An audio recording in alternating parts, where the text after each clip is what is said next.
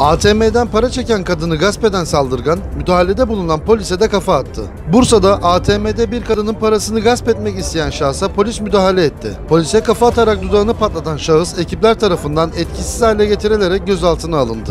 Bursa'da kent meydanı AVM önünde meydana gelen olayda ATM'den para çekmeye çalışan NA'nın yanına gelen bir şahıs çektiği 2000 lirayı almaya çalıştı. Bu sırada kadın yardım çığlığı atınca orada devreye gezen polis ekipleri müdahale etti. Polise kafa atan UU daha sonra da kaçmaya çalıştı. Diğer polis ekiplerinin de gelmesiyle birlikte etkisiz hale getirilen zanlı ters kelepçe yapılarak gözaltına alındı. Olayın ardından dudağı patlayan polis memuru ambulansla Çekirge Devlet Hastanesi'ne kaldırıldı. Polis memurunu yaralayan şahıs ise emniyete götürüldü.